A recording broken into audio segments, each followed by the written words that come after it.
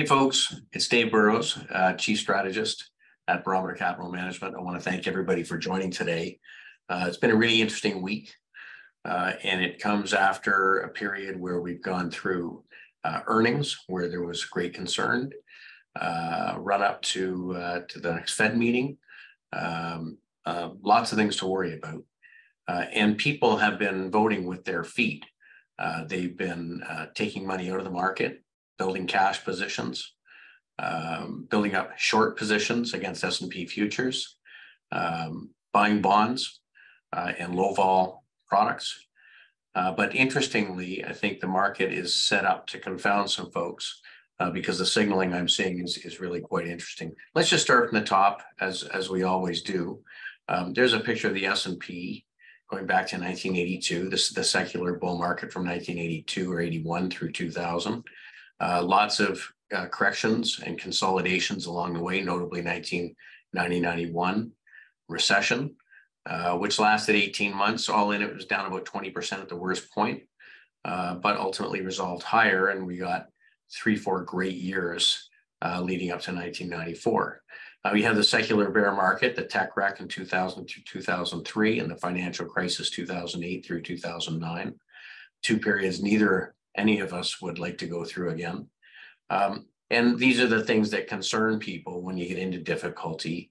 That's a, a recession that turns into a credit crisis or some kind of systemic event. Uh, we broke out in 2013. Market's been rallying 123 months since then.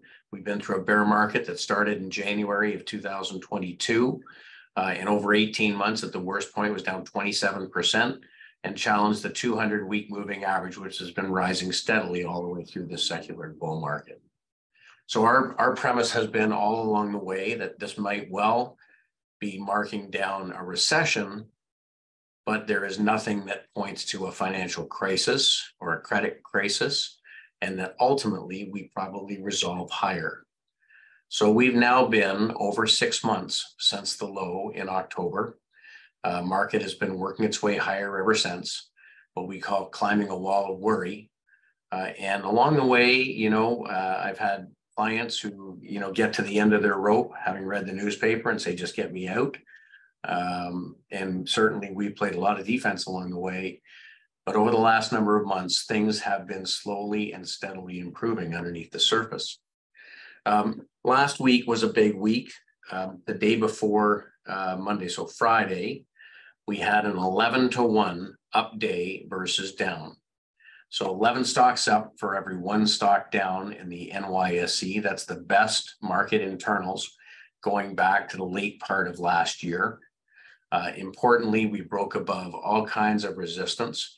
And I want you to look at this price pattern, this pennant price pattern, where ultimately you tend to break out in the direction from which you came in and ultimately we broke out higher. Now we're going to see a lot of these today, and I think that they're really important to take a look at because when we consolidate in an ever tightening range, when you ultimately break out, it tends to be, it gets an accentuated move in that direction. And certainly 11 to 1 up day is great. Now, we talked in our morning meeting yesterday, uh, and we have talked about the fact that over the last few weeks, we have had tepid breadth in the market.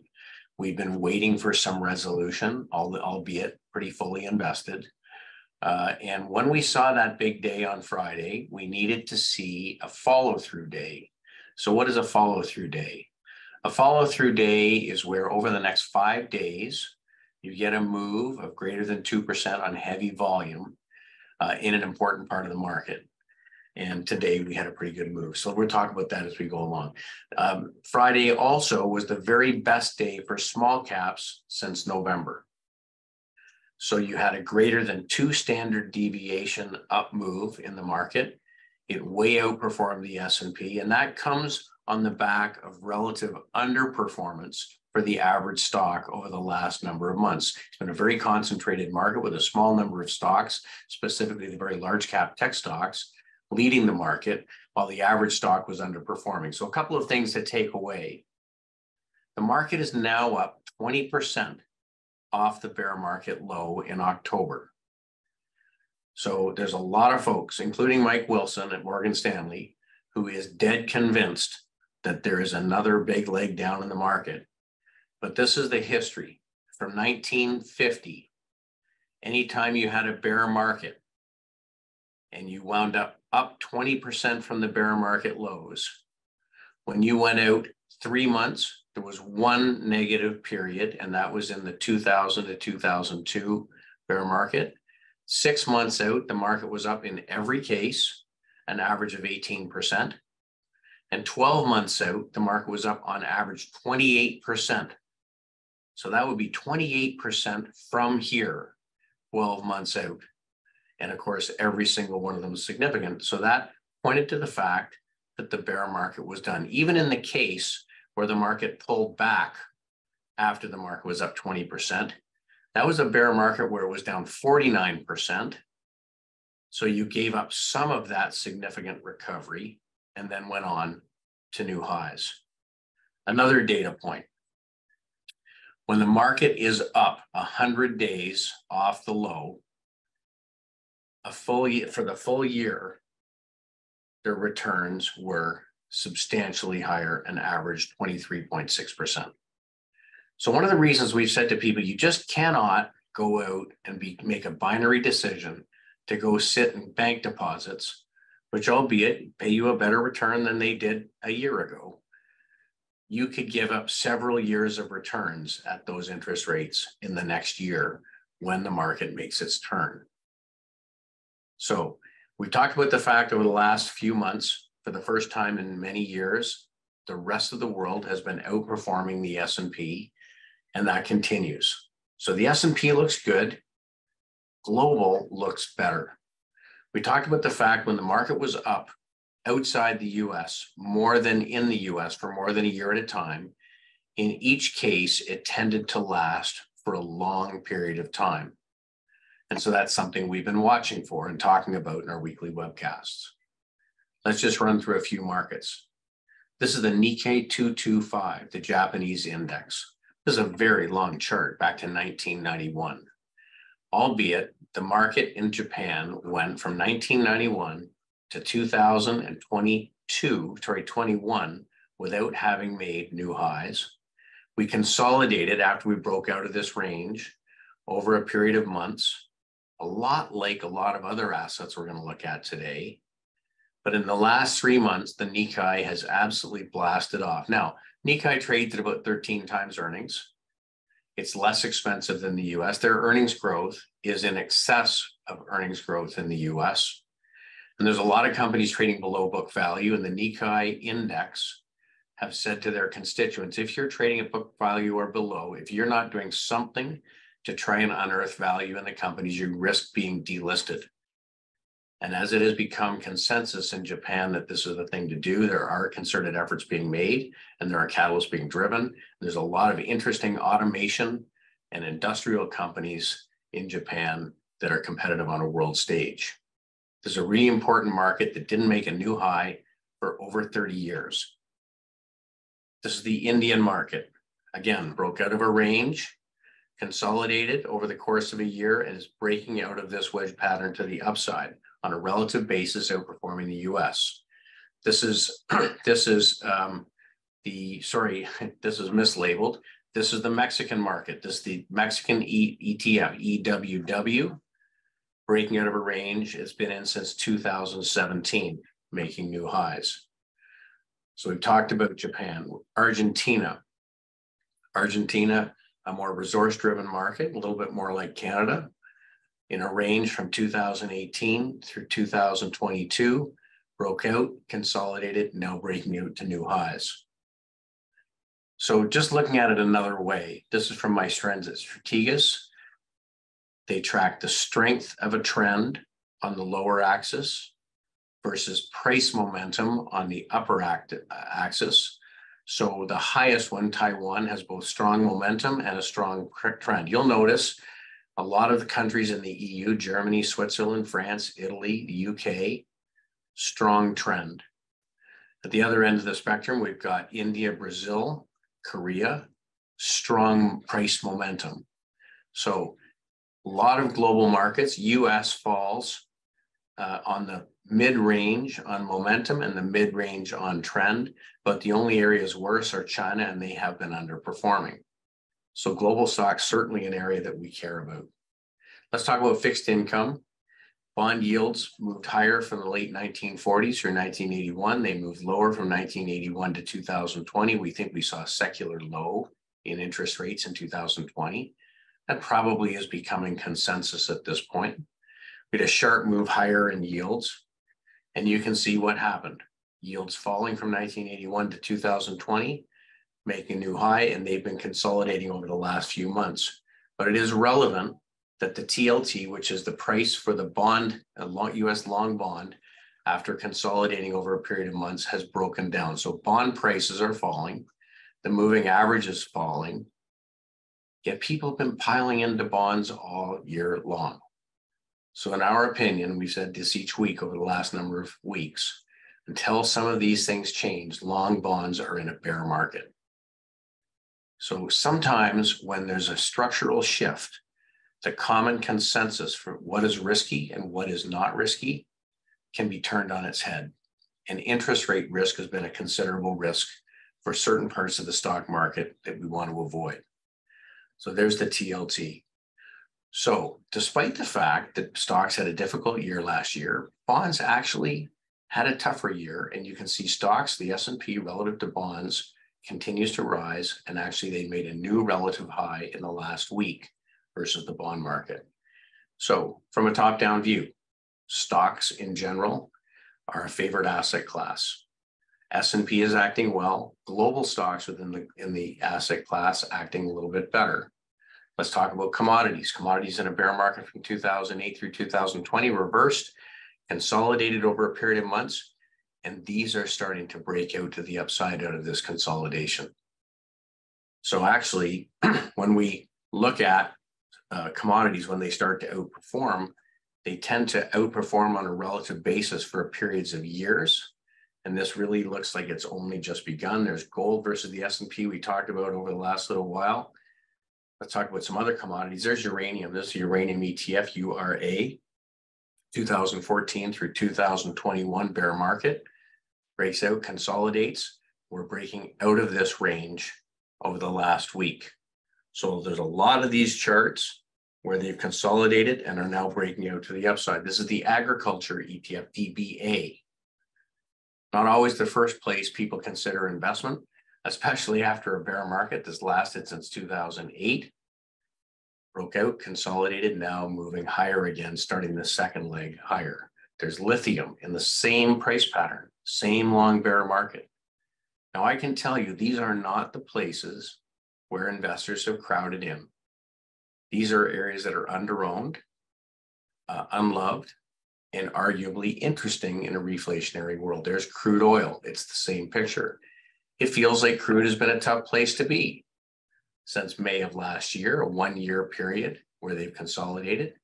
The question is, will this be the next group to turn higher? Certainly something to keep an eye on. Commodities versus bonds. This is the broad based commodity index versus the bond index.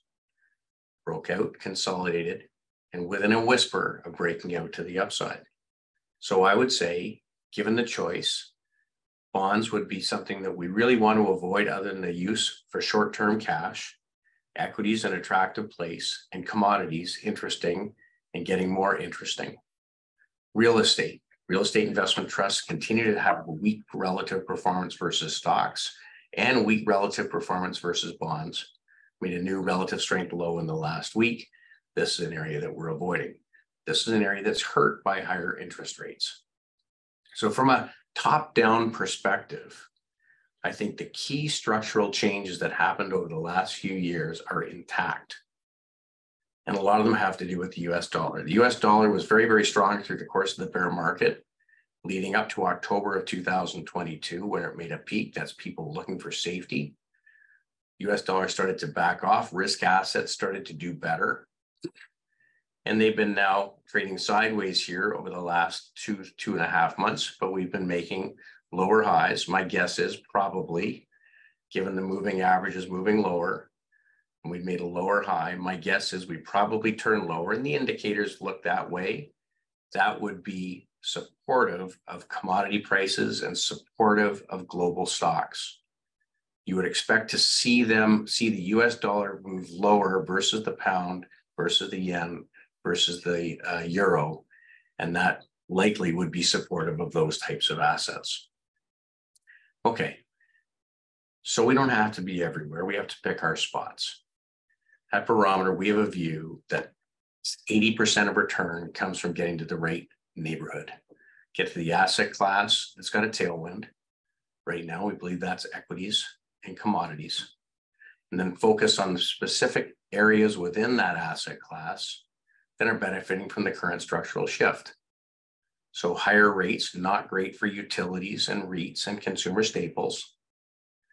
Um, they tend to be signaling more persistent inflation. That tends to be better for things like industrials and commodities and energy. 20% of return is finding securities within those neighborhoods to focus on to build our portfolio. So we use our top down view, which tries to identify parts of the market that are showing expanding breadth where more and more stocks are participating. Our bottom up work, trying to identify specific securities, looks for a combination of factors in the income statement and the balance sheet that point to positive change, things that are getting better, and price that would support that view. In other words, if we think fundamentals are getting better, but price is headed the wrong way, we think there's a disconnect. We want to see the technicals being supportive and fundamentals being supportive on securities. And then we find good securities, line them up in groups within the market that have a tailwind, and that's where a portfolio should live. The third part is the most important part, and that's having a disciplined selling strategy. Now, I can tell you that during a transitionary period, this can be difficult. Over the last 18 months, there's been lots of ups and downs and lots of chop. And the cost of using stop losses is that sometimes you get whipsawed, you get taken out of positions before you'd like to. But we would rather err on making little mistakes, not big ones. So sometimes we get stopped out and we wind up having to put positions back on if the sector or theme reestablishes itself or the specific securities that we use to express start acting better than any others that we could choose. But making little mistakes as opposed to big ones is important because ultimately transitions complete and things start to trend and you get a long run in prices. And that's what we look forward to. So we're always looking within a sector or theme for areas where we're seeing expanding breadth, where more and more securities are participating. That's a healthy market. There's no bear markets happen when there's expanding breadth. And when there's deteriorating breadth, it doesn't mean we can't make money. And It doesn't mean we can't be in a specific area that's acting better than the rest. But where we see deterioration, we reduce our exposure and we stop putting any new positions on. So it's okay to hold cash from time to time because it gives you opportunity. So a few things that are really important to keep in mind. Over the last while, the percentage of stocks beating the S&P has been as low as it's been since 1998 at the end of the tech boom. That was also a time when large cap tech was really the only game in town. And ultimately that did resolve and the market broadened out and lots of stocks started beating the S&P. So last week, we highlighted the fact that percent of stocks in uptrends in the NYSE had weakened over the previous few weeks, was sitting at around 40%. So 40% of stocks in uptrends, 60% not eligible for us to look at. And because it had been declining, we were sitting on some cash. The percent of stocks trading above their 50 day moving average had been moving lower. Percent of stocks trading with positive weekly momentum had been moving lower percent of stocks making new highs versus new lows was improving a little, and percent of stocks trading above the 150 day moving lower. So let's just examine those today. Over the past week, we've seen lots of positive change. Percent of stocks in the US in uptrends has moved up from 30% to 36%. That's expansion in breadth, means more stocks are participating. Percent of stocks trading above the 50 day moving average, which going back to March was only 20% is sitting today at 54% and rising. So greater than 50% of stocks trading above the 50 day moving average. Percent of stocks trading above their 150 day moving average. Again, going back to last October was as low as 12%. We pulled back in March to 34%. We're sitting today at 42%. So percent of stocks trading above their long-term moving average moved higher over the last week. And the percent of stocks with positive weekly price momentum over the last week and a half have moved from 40% to 56%, almost 20% more stocks with positive weekly price momentum. So what does that mean? It means that the market is broadening out. It means that we are becoming less dependent on just a few companies. It means that more stocks are performing well. It means that money is being put to work. And we've talked about the fact over the last few weeks, a tremendous amount of money has been pulled out of the market. A ton of money has gone into cash. A lot of futures hedges have been put on to protect against the risk of a big decline. Sentiment has been in the dirt. Yet interestingly, at the margin, more money's going in and coming out. Percent of stocks making new highs versus new lows also expanded over the last week. So all four of our four short-term indicators getting better, our long-term indicator getting better, and that's on top of the fact that equities globally already had improving breadth. So here's the S&P. This is the high at the end of 2022. A series of moves lower into June, a rally to a lower high and a lower low in October. That ultimately was the low in this bear market. We rallied into December, pulled back at the end of December to a higher low, rallied, pulled back to a higher low in March, rallied, pulled back to a higher low in May. We now have all of the moving averages moving higher. And this past week, we broke out above the most recent resistance. We're now trading at the highest level we've traded at since August of last year. So I understand how unnerving the news is and how unnerving it is when experts tell us about how bad it's going to get. And we are not able to see the future. We have to make the best decisions that we can. We just have to have methodology and process. And our process tells us to be invested at this point. Now, the equally weighted S&P, the RSP ETF, had been underperforming the broader market, sorry, the market cap weighted at largest companies significantly over the last few weeks. And this was a concern. Last week, we said one of two things has to happen.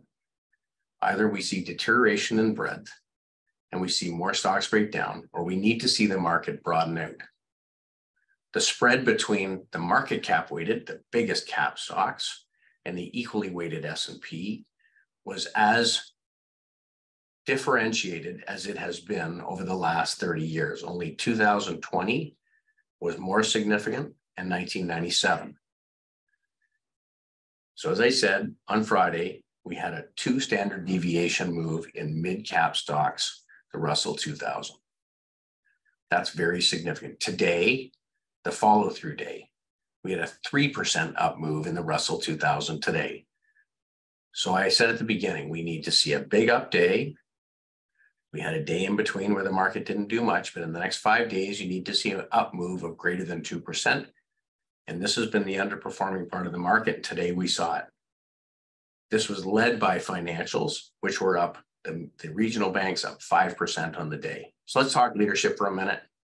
on the 26th of May, the average sector had 35% of stocks in uptrends. As we sit today at 36.4, breadth has been expanding.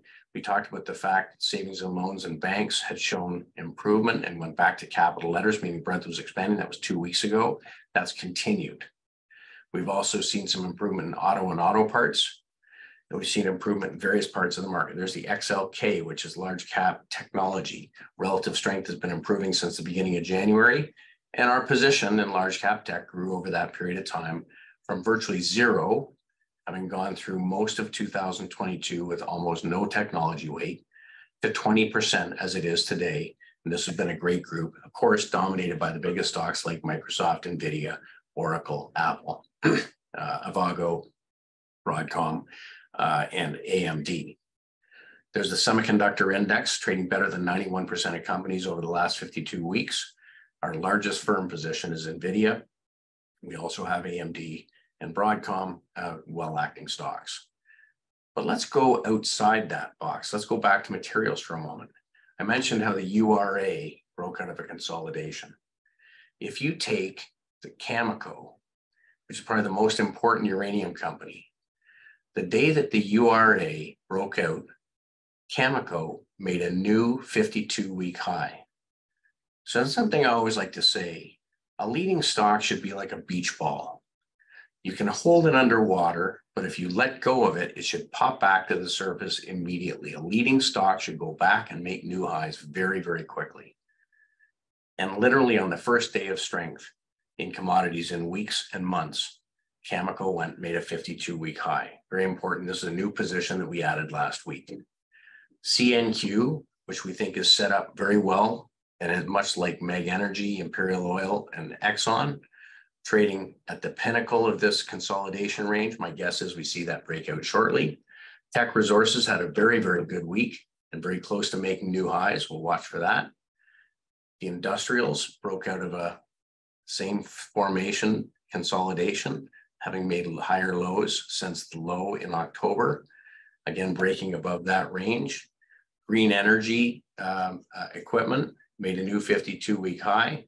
The Industrial Renaissance ETF, which is mid cap industrial companies, largely driven by automation companies, very close to a 52 week high. ATS automation continues to act well.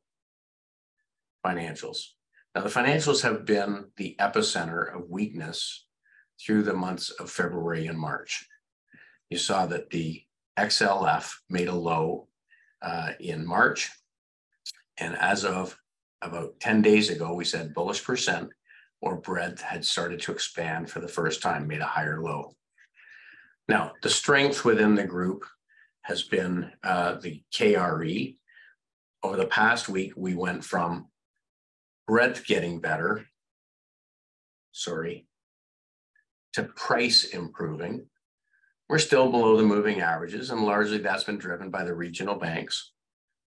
The regional banks, as of today, made a four week high, actually a six week high, and trading above more most recent highs. But the insurance companies continue to perform well. We talked last week about Fairfax and IAG. Fairfax making a 52 week high. Consumer, home building, despite interest rates, is on a tear. The ITB has traded from 50 to $80 or $78 since October of last year against concerns of higher mortgage prices. This is home construction materials, the home construction builders, XHB is doing the same thing. So these groups are now starting to really lift. On the other hand, staples and utilities remain relatively weak these are supposed to be defensive sectors, the places that people go to when there's concerns about the economy. They're making relative strength new lows versus the S&P. Telecom, relative strength new low. REITs, relative strength new low. The reason I put that up is because there has been money pouring into the most defensive groups. That's the bond ETF breaking down. This was as of the end of May. Where had the money been going? into bonds, consumer staples, cash, utilities, and healthcare. Where was money coming out of? US stocks, insurance, industrials, banks, materials, and energy. So this is speculator positioning in S&P 500 futures. We are now at the lowest level of futures positioning or betting that the market will go down. The most significant short uh, short interest in the S&P going back to 2007. So speculators are short the stock market. Bond positioning is as overweight as it was at the worst point in the financial crisis. Do you hear where I'm going with this? People are going to the wrong places. High beta or higher volatility stocks are outperforming lower volatility stocks. Yet, low volatility stocks are more expensive than high volatility stocks. My guess is the market is caught wrong footed. And it's hard to be patient with some of these sectors, but clearly we're resolving in the right direction.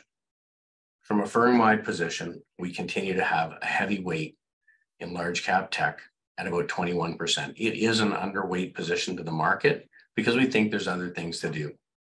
Financials are about market weight, heavily weighted towards insurance, and the best banks, Royal and JP Morgan. Industrials are a significant overweight.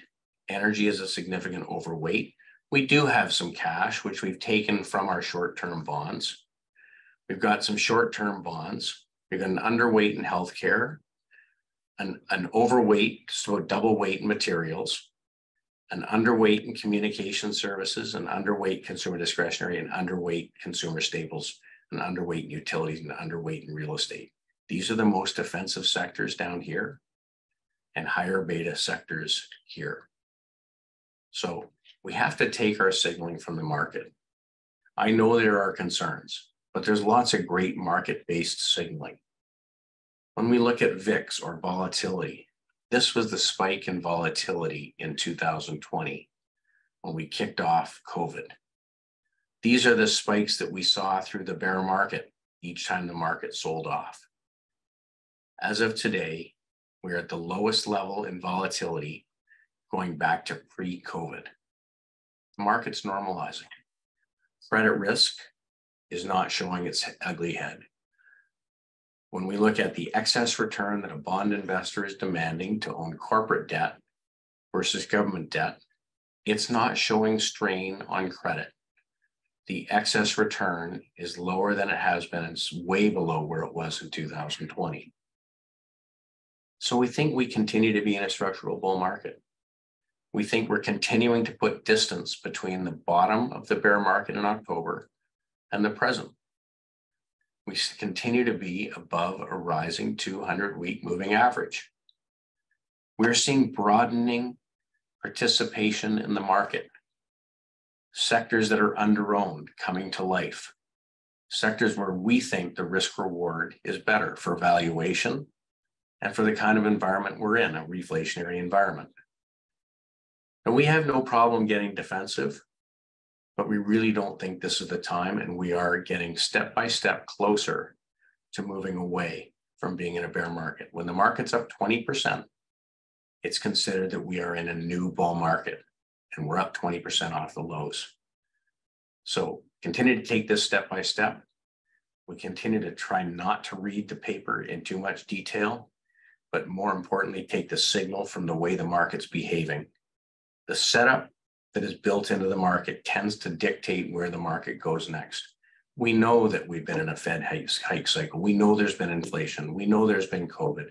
We know there are geopolitical uh, uh, conflicts. We know that there are shortages in some materials. But the signaling in the market is it looks like we're headed higher. Pamela, if you're there and if there's any questions, certainly we can answer them. Hey, thanks so much, David. Yes.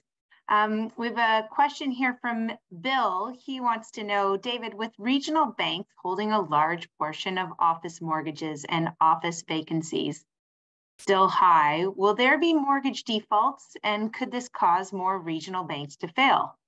And if so, how could this affect the market?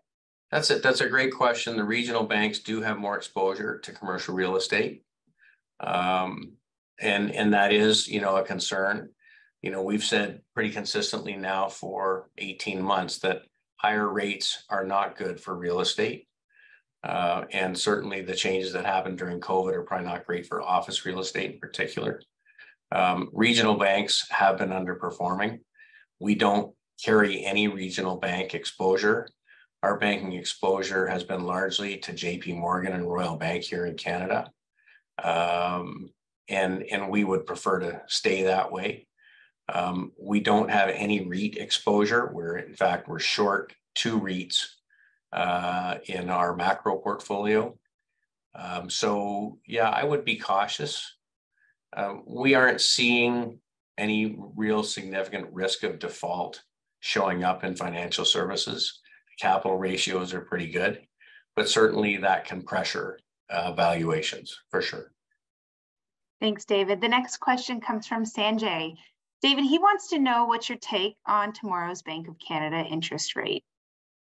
Yeah, it's it's it's an interesting week because um, two countries that are not don't tend to be on the world stage, Canada and Australia, on deck for uh, rate decisions, and um, both signaled pauses.